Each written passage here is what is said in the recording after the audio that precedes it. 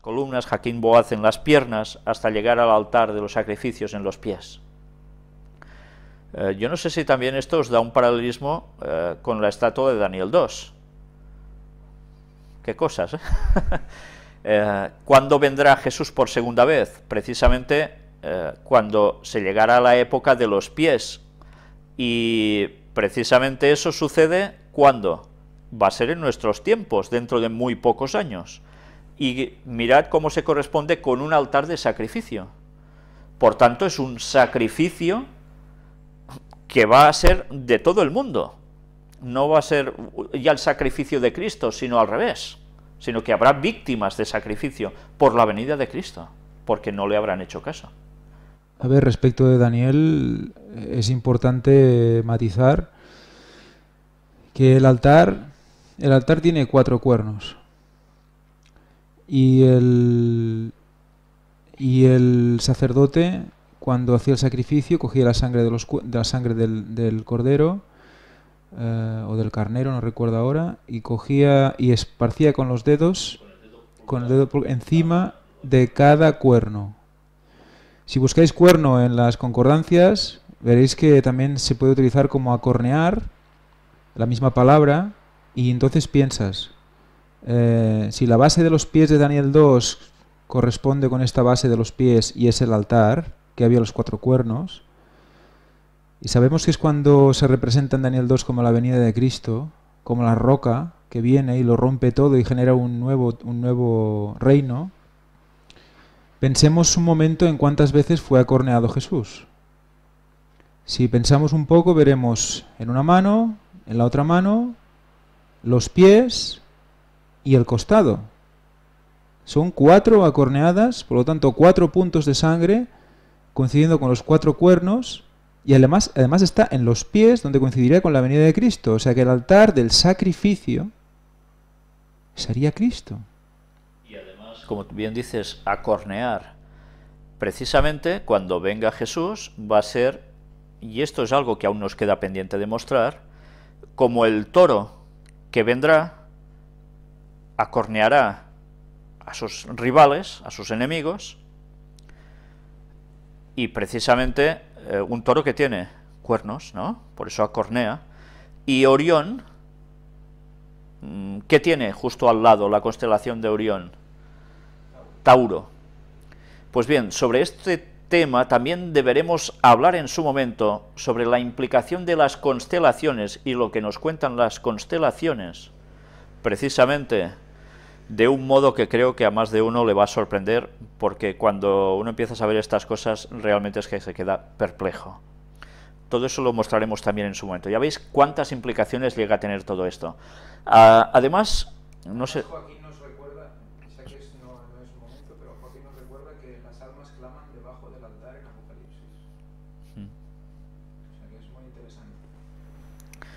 Mirad eh, precisamente donde tiene la cabeza apoyada, el que representa que es Jacob, sobre una piedrecita, luego llamada Betel. Eh, cuando Abraham hizo un cierto sacrificio, o iba a hacer un cierto sacrificio de Isaac, fue precisamente en el monte Moria. Ahora, mm, automáticamente pensamos, ¿y dónde estaba el monte Moria? El monte Moria estaba precisamente donde se construyó el templo de Jerusalén. ¿Y en qué lugar precisamente del Monte Moria? Eh, o pues bien, o cómo estaba emplazada esa roca donde se hacía esto, o se iba a hacer este sacrificio, que ya sabéis que finalmente no es sacrificado su hijo Isaac, sino se pone un carnero en su lugar, que Dios lo provee, sustituyéndolo, ¿no? Pues estaba Mm, si lo veis, en este dibujo, en la parte media, sobre la cara de Jacob, aparece la roca donde estaba Isaac, pero además allí, en ese lugar, en el templo, ¿qué se ponía? El arca de la alianza. Bueno, esto es realmente impactante, porque ¿qué hay precisamente ahora allí?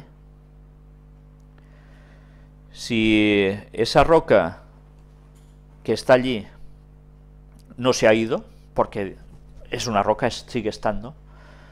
Resulta que allí se ha construido algo. y eh, fue, y hace muchos años, una mezquita. Desde donde además dicen los musulmanes que precisamente sobre esa roca ascendió Mahoma a los cielos. Una vez sabido esto, ya podéis imaginaros mm, qué puede llegar a acontecer con esa mezquita, cuando eh, se saben los planes para levantar el tercer templo de Jerusalén. Bueno, mirad cómo cada vez más hay detalles que nos van dando muestras que realmente algo va a suceder por las tremendas connotaciones que tiene tanto para unos como para otros, pero mucho más allá de todo esto. Mientras sigamos con lo que aquí nos pone. ¿Por qué se da el sueño a Jacob en este momento? No solo porque huía de la ira de su hermano Esaú, sino también porque él estaba en camino a Mesopotamia para encontrar una esposa y crear una familia, es decir, una casa. Isaac prácticamente le ordenó salir y comenzar su propia familia, Génesis 28, 1 y 2, que podrían multiplicarse y convertirse en una sociedad de pueblos, versículo 3. Y después se dijo que sus dos esposas son los constructores de la casa de Israel. En Ruth 4.11, Jacob por lo tanto construyó un templo humano, una casa de las doce tribus, además de los levitas, y siglos más tarde estas doce contrataron artesanos fenicios, levantaron el templo de piedra de Salomón, la casa de Ir de Yahvé. Por lo tanto, el sueño se refiere a la construcción de dos casas, Israel, Jacob, y la de Elohim, la de Dios. Una vez más, el paralelismo entre el cielo y la tierra. Bien, una vez dicho esto, añadamos lo que allí no había y que creo que, que bueno, es totalmente vital el sumo sacerdote llevaba en la cabeza, ¿qué llevaba? La diadema o corona que tenía escritas las palabras, santidad a Jehová.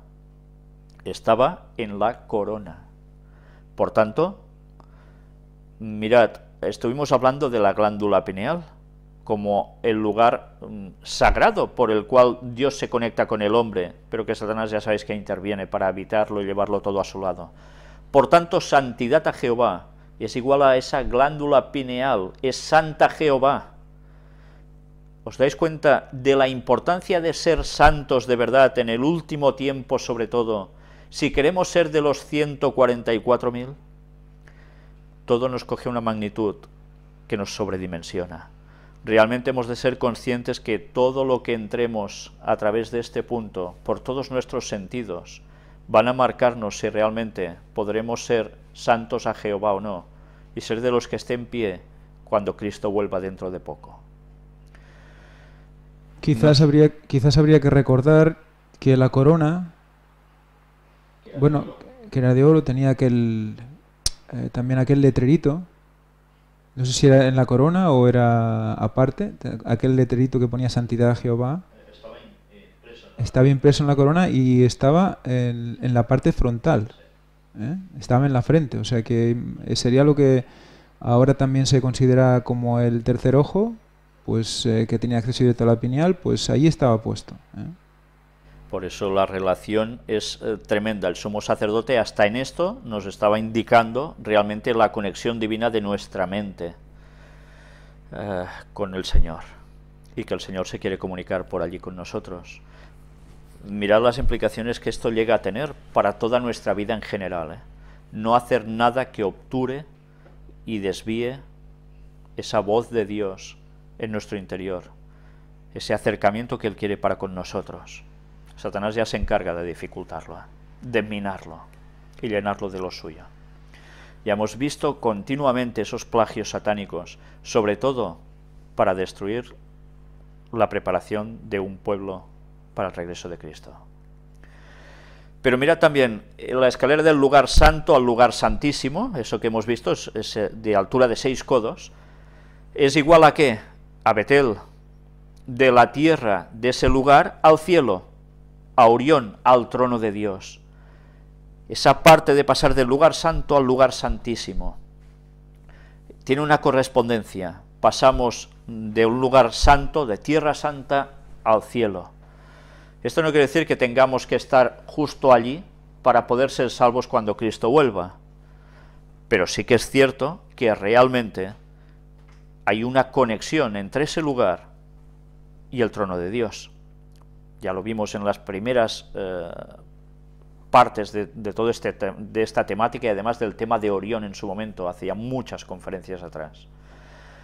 Y además también esto nos da cuenta de esa transición entre el lugar santo y el lugar santísimo que Cristo efectuó el 22 de octubre de 1844. Mm, eso que para muchos que no sabéis de qué va, si Dios quiere, pronto trataremos también eh, en un estudio bíblico.